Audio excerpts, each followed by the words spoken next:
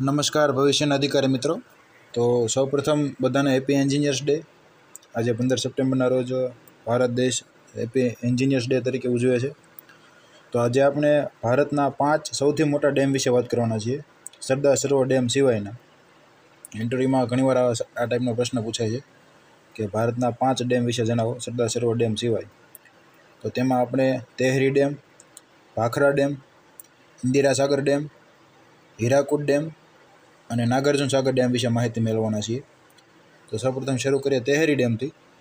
તો જ્યારે પૂછવામાં આવે તો સૌપ્રથમ ડેમ ત્યારબાદ તે કઈ નદી ઉપર આવેલો છે અને તે કયા રાજ્યમાં આવેલો છે. તો આટલી માહિતી તો હોવી જ જોઈએ.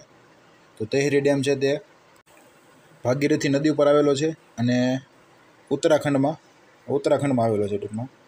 ઉત્તરાખંડમાં ભાગીરથી નદી ઉપર આવેલો છે. તો તે અર્ધન ડેમ છે. Earthen plus rockfill dam. અને ભારતનો સૌથી ઊંચો ડેમ છે. બસો સાઠ મીટર જેટલી હાઇટ છે.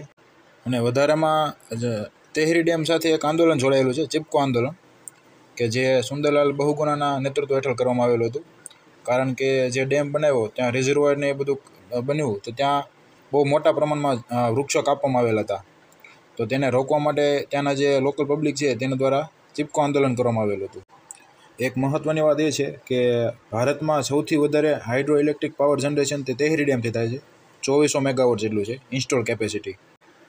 તેહરી ડેમ હજી પણ વિવાદોમાં ઘેરાયેલો છે, કારણ કે ત્યાં એક તો એટલું બધું હાઇટ ઉપર છે અને એટલું બધું પાણી સ્ટોર થયેલું છે અને ત્યારબાદ તે જે એરિયા છે, તો તે રિઝર્વર ઇન્ડ્યુ સિસ્મિસિટી ત્યાં અર્થક્વેક આવવાના ચાન્સીસ બહુ ઘણા ઘણા બધા વધારે છે. તો તેના ઘણા બધા એક્ટિવિસ્ટે હજી પણ તેનો વિરોધ કરે છે અને જ્યારે પણ એવું ન કરે નારાયણને કદાચ ડેમ તૂટે, તો તેના કારણે ઉત્તરાખંડ, દિલ્હી અને એ આસપાસનો ઘણો બધો વિસ્તાર ધોવાઈ જાય એમ છે. તો એના કારણે હજુ પણ તેના વિરોધ ચાલુ જ છે. હવે અર્ધન ડેમ છે, એટલો બધી હાઇટનો બનાવેલો છે, બસો સાઠ મીટર. તો બેઝવીડ તેની નહીં નહીં એક કિલોમીટર જેટલી છે પોળી. તમે વિચાર કરો કેટલું અર્ધન ટૂંકમાં અર્થફિલ કરેલું છે ત્યાં.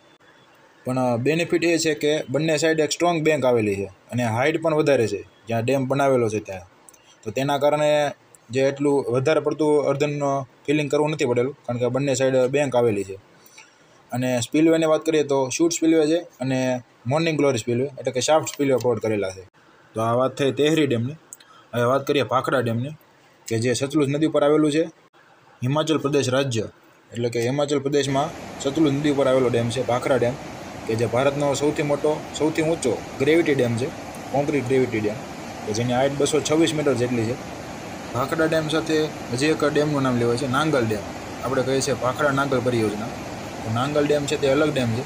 એક વિયર છે પિકઅપ વિયર છે, કે જે પંજાબમાં આવેલું છે. સતલુજ નદી ઉપર જ છે.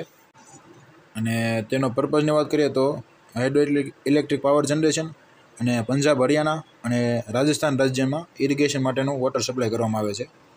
હવે વાત કરીએ ઇન્દિરા સાગર ડેમ, કે જે નર્મદા નદી ઉપર આવેલો છે અને મધ્યપ્રદેશમાં સ્થિત છે. તો તેના દ્વારા જે રિઝર્વર ક્રિએટ થાય છે, તો સ્ટોરેજ કેપેસિટીમાં ભારતનું સૌથી મોટું રિઝર્વર છે. નર્મદા નદી ઉપર જે ત્રીસ જેટલા મોટા ડેમ બનાવવામાં આવેલા છે, અથવા તો આવવાના છે, તો તેમાંનો એક છે ઇન્દિરા સાગર ડેમ અને બીજો છે આપણો સરદાર સરોવર ડેમ. બીજા ઓમકારેશ્વર ડેમ છે, તો આ ટાઈપના પ્રકારના ડેમ આવેલા છે. હવે વાત કરીએ હીરાકુડ ડેમની, કે જે વિશ્વનો સૌથી લાંબો ડેમ છે, અરાઉન્ડ પચીસ જેટલા કિલોમીટર લંબાઈ ધરાવે છે, કે જે ઓડિશામાં મહાનદી ઉપર આવેલો છે. યાદ રાખો, મહાનદી છે, મહી નદી નથી. મહી નદી ગુજરાતમાં છે, એટલે મહાનદી છે તે ઓડિશામાં આવેલો છે.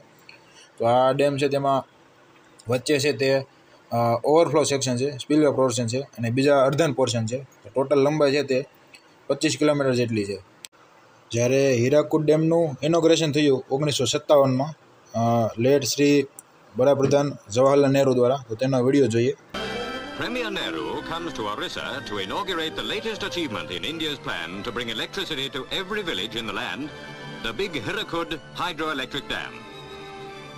Three miles of stone and concrete make it the longest of its kind in the world. With its earth dikes, it completes a 20-mile wall impounding the great Mahanadi River. Hundreds of villages will get power and irrigation from the new project, whose foundation stone Nehru laid nine years ago. Behind the dam is growing a reservoir of 288 square miles, the biggest man-made lake in the whole of Asia.